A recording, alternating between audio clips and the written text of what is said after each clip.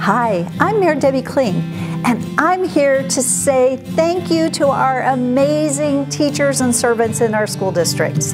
And you know what? I just want to take a minute and say you're all amazing.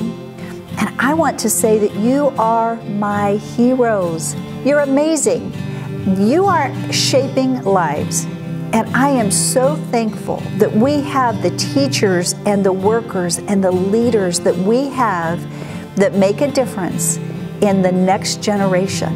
And you're doing it day in and day out. I just want you to know how important you are, how much you how much I appreciate you and the countless other citizens in our community that say and on their behalf we say thank you, thank you and thank you.